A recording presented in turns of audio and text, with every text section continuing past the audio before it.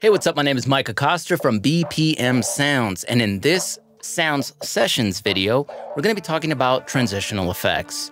So this could be for a DJ mix, and as you're going from one song into another, sometimes you may want to add some transitional effects that help the song cross over into the next a bit smoother.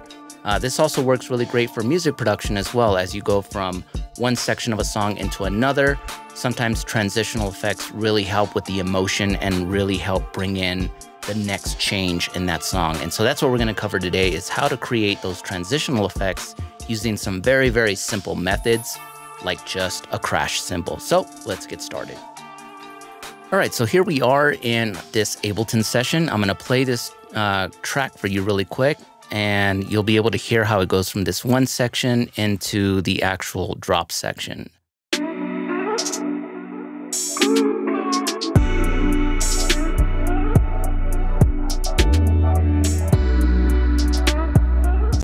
Okay, so you can see right here in this section here, there aren't any transitional effects or anything. It just goes from kind of this one part and then all of a sudden the drums and the 808 bass comes in. So in this section, I'd like to use somewhat of a transitional effect that helps bring a little bit more impact and kind of makes your ears pay attention as the song is about to change.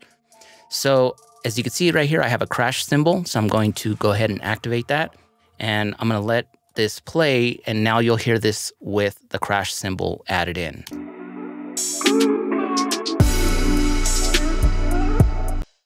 Okay, not much of a big impact. It just adds a little more to it.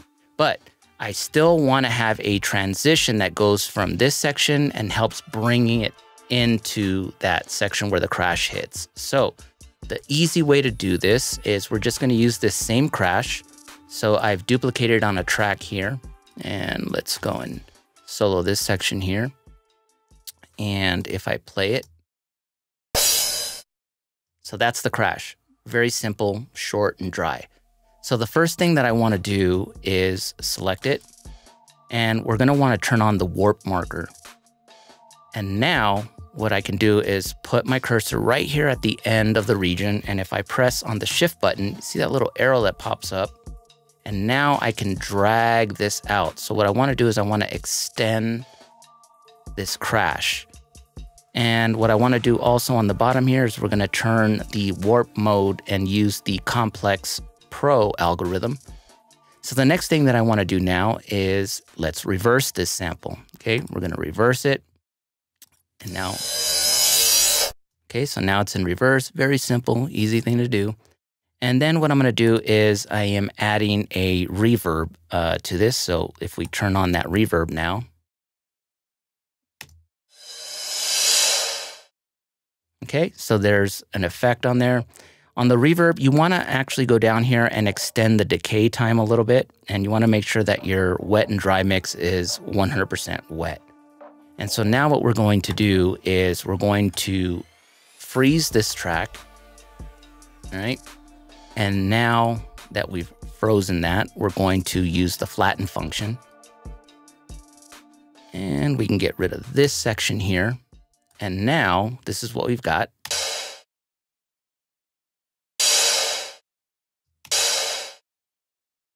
All right, and now what we'll do is we'll take this and we're going to reverse it again. So we're gonna flip it back.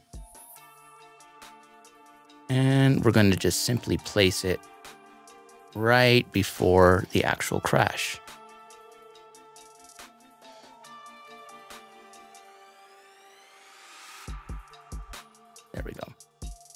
All right, so the next thing we want to do is let's crank up the volume on this so we can get a little bit of gain there.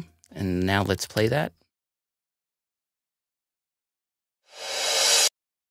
Okay, so we've got some effects happening there, and that's just part of it. Got some more to do. So the next thing that we want to do is let's go into Ableton's effects section.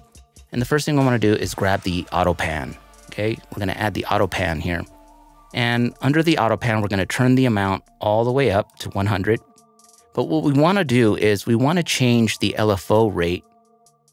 And we're going to switch this over so that the LFO is synchronized to the tempo of our track, which is 105 BPM.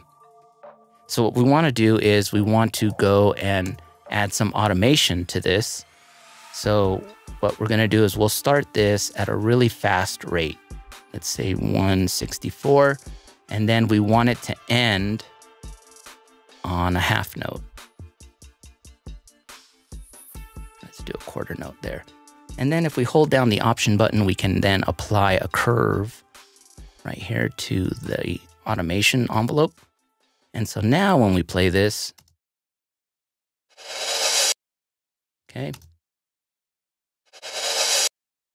really, really simple stuff. So the next thing that we want to do is we want to go ahead and add a reverb after our auto pan. And I'm going to cut a little bit of the lows. And what we're going to do is set the decay time again to about three seconds. Not too much. Stereo all the way, set our quality to high. And what I want to do now is I want to automate the actual dry and wet mix on the reverb. So I want it to start fairly low here. And then I want it to open up and go more towards the wet mix. And then we'll just have it kind of tail off. So now we have the auto pan automated and we've now automated our reverb wet dry mix. So this is what it sounds like so far.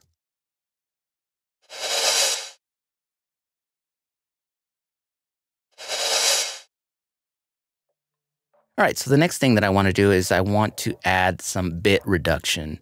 So we're going to use Ableton's Redux. We're going to drop that in there. And what we're going to do is we're going to automate the downsample. So Redux will start here. And I want this to kind of crank this up a little bit more. And let's switch it off right there.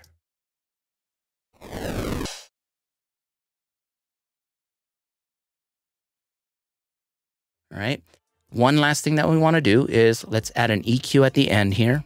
And so what we want to do is we want to roll off all the low end. We don't really need all the low end uh, frequency in this. So I am going to use a very steep curve and we're going to roll this up. Let's take a look.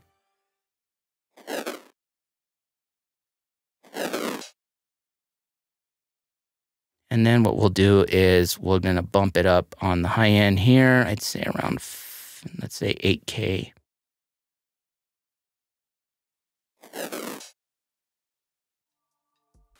All right, so let's listen to everything in context. I have the same exact track here of what I just did, uh, the final crash effects. And you can see here that all of the automation is there. So let's say we've got auto pan, reverb. So let's look at Redux. So we have the Redux automation here. We have the auto panning automation here, and we've got the reverb wet dry mix here. The same exact thing that we just did is all set up here with our levels. Um, the only difference is here is on the mixer section, I am also sending uh, a full auxiliary send over to another reverb and to the delay. So the difference is like sounds like this. Okay, it's got a nice delay on it. And that will transition nicely into the section where the drums come in and where the crash hits. So let's listen to all of that in context so that we can see what it sounds like.